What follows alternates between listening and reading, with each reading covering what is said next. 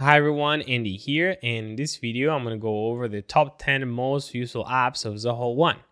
Zoho One is a suite of 40 plus applications that you can use to run your business, but today we're going to focus on the top 10 most useful ones in my opinion. I have been using Zoho One for two years now and helped several different companies to implement Zoho One from scratch. So in this list, I'm sharing the apps that most of my clients want to use. All right, let's get started. At number one, we actually have two apps, Zoho CRM and Zoho Bigin. We have two apps, but the category is CRM. Depending on what business you have, you can either use Zoho CRM or Bigin. Zoho CRM is more advanced and can do a lot, but Bigin has all the bases covered. You can use this to keep your leads, contacts, accounts, and deals in the same place, as well as manage your sales process, track your leads, keep your conversations with your clients in one place, and a lot more. If you're not using a CRM yet, this could be a game changer for your business. Apps similar to Zoho CRM are HubSpot CRM, Salesforce, and Pipedrive. At number two, we have Zoho Books. This app lets you manage all your finances in one place. It is similar to apps like QuickBooks and Xero. You can have all your clients in one place and send them invoices, create estimates, track expenses, and register payments and it also integrates with a lot of banks and electronic payment systems like PayPal or Stripe. It is very customizable, allowing you to add your own branding to the invoices or any other document that you send, as well as creating email templates, editing the documents layout, and a lot more. It also integrates really well with other Zoho apps like Zoho CRM and Zoho Projects. Speaking of Zoho Projects, at number three, we have Zoho Projects. You will use this app if you want to track any projects that you do for your company. It can be an internal project like moving to a new office or a work project. For example, if you work for a construction company, you can plan how to build a house for your client. You can add milestone tasks and subtasks, and they will have start dates, due dates, priority, and a lot more relevant information that will help you track all you need to complete the project.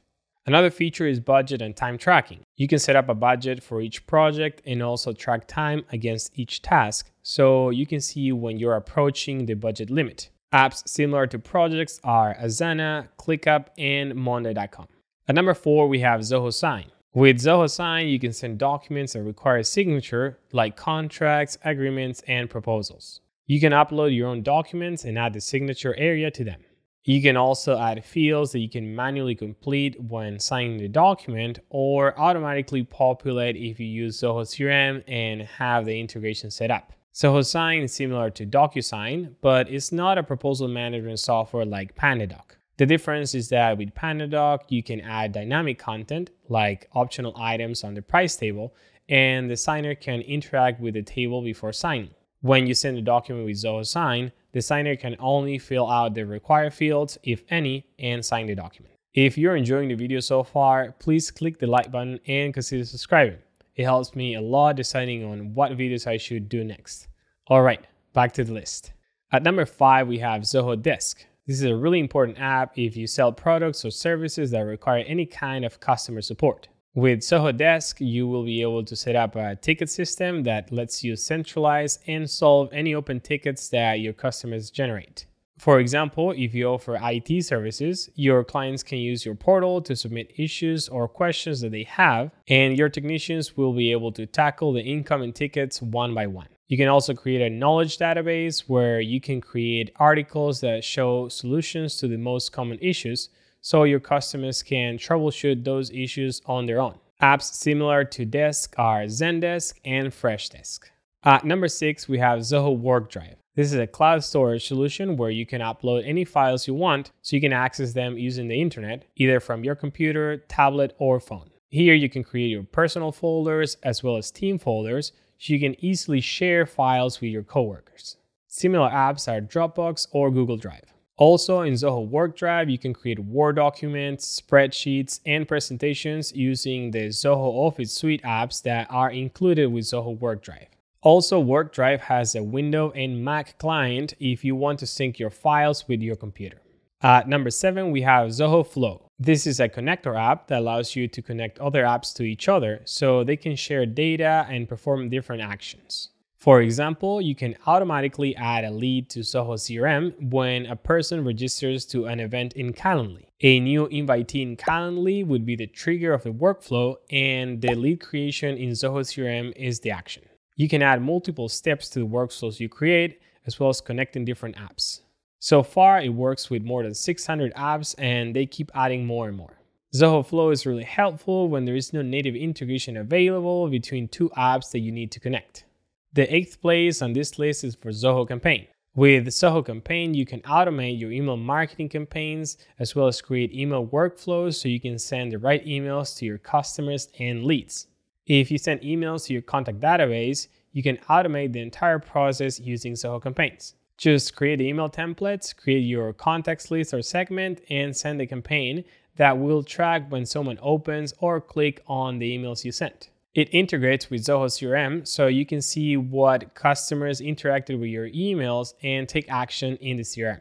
Also, with workflows, you can perform different actions depending on the user behavior. For example, if the user clicks on a link about shoes, the next email to be sent is going to be about shoes. Or if the user clicks on a shirt, then the next email is going to be about shirts. Similar apps are ActiveCampaign and HubSpot Marketing Hub. At number nine, we have Zoho Cliq.